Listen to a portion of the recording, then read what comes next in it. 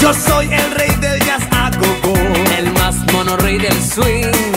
Más alto ya no he de subir, y esto me hace sufrir. Pues bueno, este año se ha pensado en crear diferentes espacios. Tenemos por una parte el espacio compartido de asociaciones, en el que cada tarde van pasando bien las ambas de los colegios que se han prestado voluntarios a participar.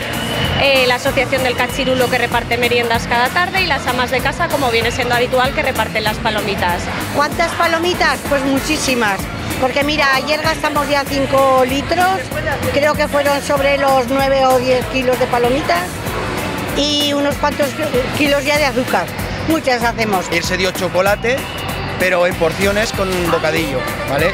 Se hicieron ayer 700 bocadillos, hoy toca fruta, porque, bueno, para que sea, ya la podéis ver aquí. Mañana nosotros no venimos, que viene otra asociación, y daremos también el jueves chocolate con pan y el viernes cerraremos con, con pan con jamón. Luego, por otra parte, tenemos otro espacio compartido dedicado a actividad deportiva. Entonces también se han brindado amablemente diferentes clubes a pasar a lo largo de todas las tardes. Tenemos con nosotros, tuvimos con nosotros ayer el club de patinaje Bajo Aragón, hoy está el club de volei Alcañiz.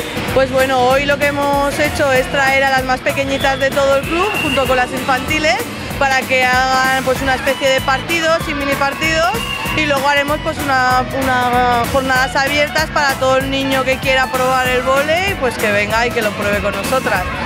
Mañana vendrá el club de judo de Alcañiz, el jueves estará Bike Trial Bajo Aragón y el viernes la Escuela de Fútbol Alcañiz, de modo que sea un espacio dinámico para cada tarde.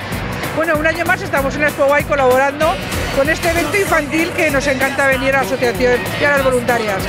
Este año hacemos maquillaje, maquillaje muy divertido y lo que más están pidiendo las chicas sobre todo es, la Frozen y los chicos pues el perro dálmata es lo que está haciendo furor este año.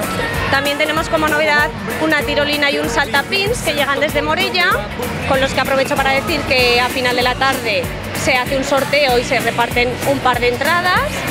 Y tenemos también un Jumpy que es nuevo en este año, así como espectáculos cada tarde a las 6 de la tarde.